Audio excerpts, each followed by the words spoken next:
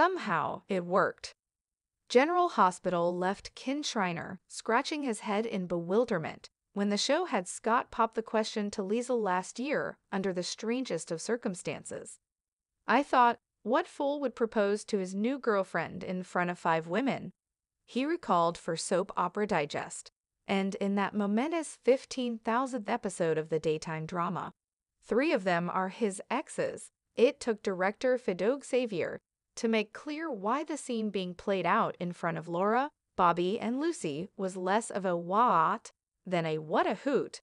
He told the General Hospital legend, if he proposes to her in front of all his exes, it's going to be funnier. Team player that Shriner is, I said, all right, so I made a fool out of myself. And, in the end, the MVP wasn't sorry that he had either.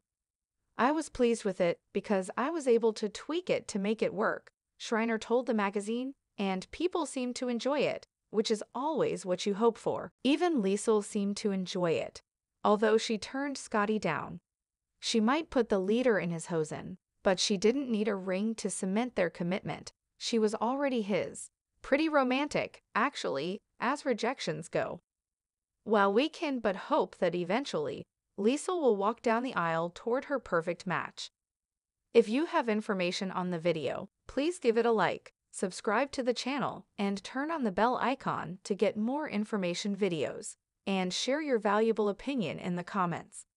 And tell us what topic you want video. Have a good day.